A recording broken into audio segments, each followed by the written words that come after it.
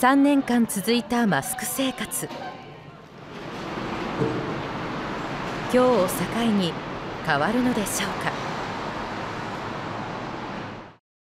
着脱については個人の判断に委ねるこうしたこととなります。あのこれはあの個々人の着脱を強制するものではありません。今朝の新宿駅。通勤客の多くはマスクを着用しています。外している人は稀です。こちらは2020年3月の映像。マスクの在庫が不足していた頃です。3年前と今を比較してみると大きな違いは見られません。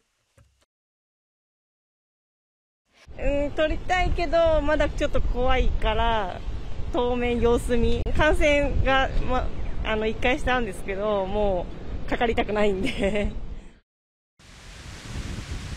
都内のホテルでは今日から感染対策も変化しています。今ホテルのアクリル板が撤去されました。フロントからアクリル板がなくなるのは3年ぶりです。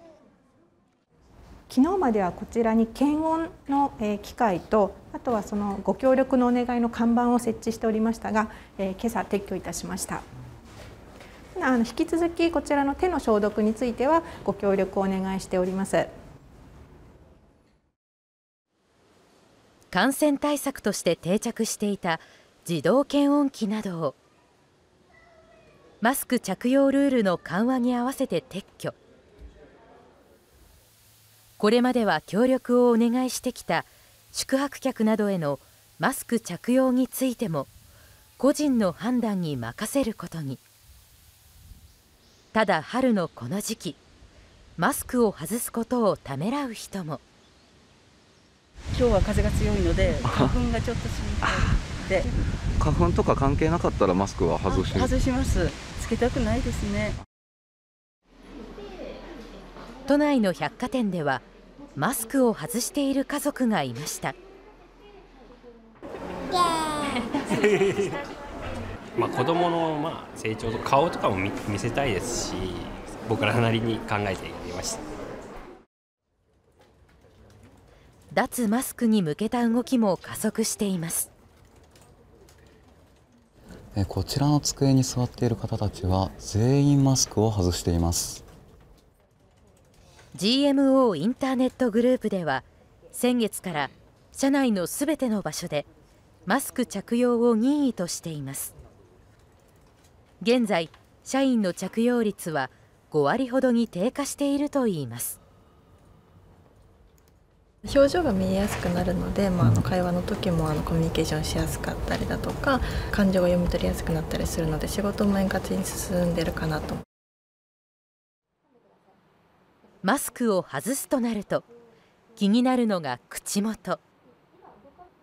今需要が急増しているのが歯並びの矯正です。都内の歯科クリニックで行われているマウスピース矯正は去年に比べ2倍に増加。その6割が男性だといいます。